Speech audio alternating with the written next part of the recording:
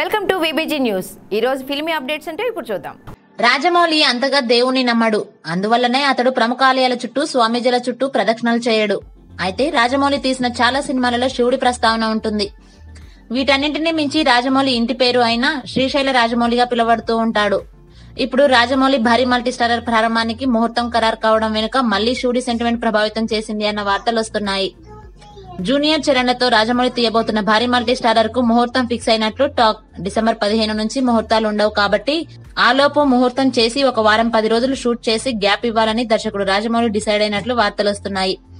ఈ గ్యాప్ ఇవ్వడానికి గల కారణం రమా రాజమౌళిల కుమారుడు కార్తికేయ పెళ్ళి డిసెంబర్లో ఫిక్స్ కావడం. ఆ వ్యవహారాల్లో రాజమౌళి బిజీగా ఉంటాడు కాబట్టి ఆర్ఆర్ఆర్ ప్రారంభ ముహూర్తాన్ని కార్తీక మాసమైన నవంబర్లో వచ్చే విధంగా ఫిక్స్ చేసినట్లు సమాచారం.